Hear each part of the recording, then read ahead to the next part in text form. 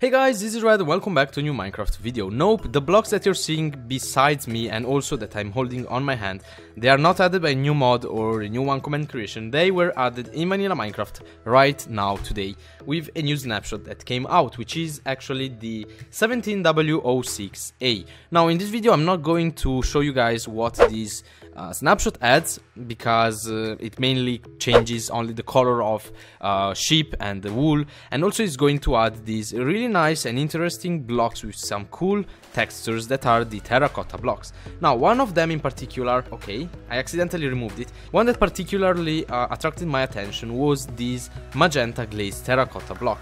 This is because it has a texture with a arrow. Now we can place these blocks depending like command blocks depending on the direction that we are looking at when placing these blocks and they will show the texture facing a different direction. Using this simple method, I said that I can create some really simple working conveyor belts in vanilla Minecraft. And the way we create them is of course by creating a path using these arrows here. And every time that we place these blocks facing in a different direction, and every time that they have a different texture, they will also have a different damage value, just like command blocks or pistons that are facing a different direction. And by using this system we are able to transport, for example, all types of entities and also players on these conveyor belts. For, for example, as you can see, I'm not walking, I'm not doing anything. I am being transported by this conveyor belt around. Also, you can apply the same effect to items and, for example, all, all types of entities. So it can be mobs and also armor stands if we place them down on these blocks you can see that they are they are going to be transported around now, one cool thing that you can do with it is, like, I came up with a couple of ideas, is for example, I made here a working treadmill in Vanilla Minecraft using the same concept, and I placed some arrows that are facing the opposite direction that I'm facing, and of course, if we are trying to go on the opposite direction, we are going to be slowed down, and it will look like we are actually walking or running on the treadmill. So for example, you can see that my legs are moving, if I try to walk against a block, they are not moving. So yeah, we will have this really cool and nice effect. Now, I know this treadmill is not really detailed, but but I came up with the design really quickly um, for this video.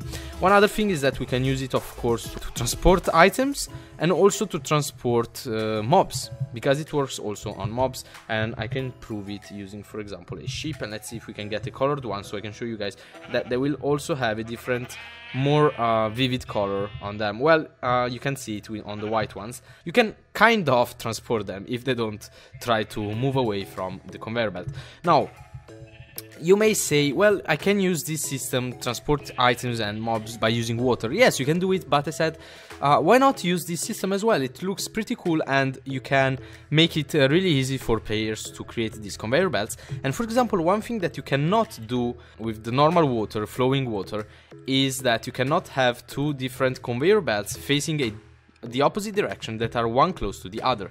You cannot do it because of course the water would uh, connect together and the whole flowing system would be screwed up basically. Yeah, so how does it work? It's really simple. We are going to use I have here two lines of command blocks. The first one is mainly applied to players and the second one to uh, items or other entities. This is because every time that a item has one of these blocks underneath, one of these magenta glazed terracotta underneath, these commands are going to detect it. So in this uh, command here we are detecting, executing for an item and every time that a magenta glazed, what is the name?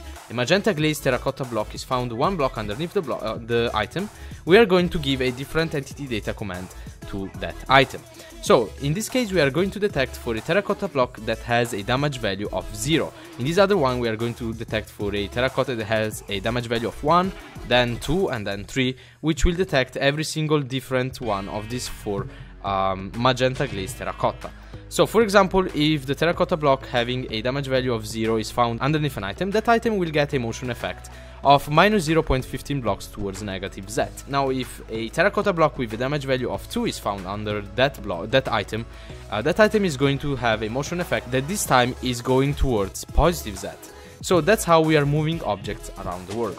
Now, why do I have two different lines of command blocks? Is because we cannot apply a motion entity data command to a player. So for players, the only way to make this work is by using the TP command, and we are going to detect same if there is a magenta glazed terracotta block with a different damage value under a player or other entities and we are going this time to teleport the entities or players 0.15 blocks towards one of the four different directions. Now one thing that makes it better to have a motion effect is that uh, first off, for example, items, when we use the TP effect, the TP command on items, they glitch out and they will not show this fluid animation and they will update uh, the position every like one or two seconds, which doesn't make this really realistic. So we have to use a motion effect on items. But one other thing that makes it better to use a motion effect is that if a block is obstructing the way on a conveyor belt, you can see that the item doesn't move anymore, it doesn't go forward unless we remove that block. But if we do the same thing, for example on this other conveyor belt, which has some TP commands applied to the entities, you can see that the entities will be able to go through uh, walls or through blocks that are obstructing the way which is something that again we don't want to happen. So always always apply a entity data motion command to an entity. For example even players they can kinda be teleported and you can see that they glitch out. So make sure that you don't obstruct the way. But that was it uh, about today's command creation it's a really simple one you can find all the commands that I use in this video in the video description you will be forwarded to my webpage where everything will be posted so as always I want to thank you all guys for watching this video. If you did enjoy this command creation don't forget to drop a like and subscribe to the channel if you're new. And I guess that I'll see you all guys in my next video. See you, bye!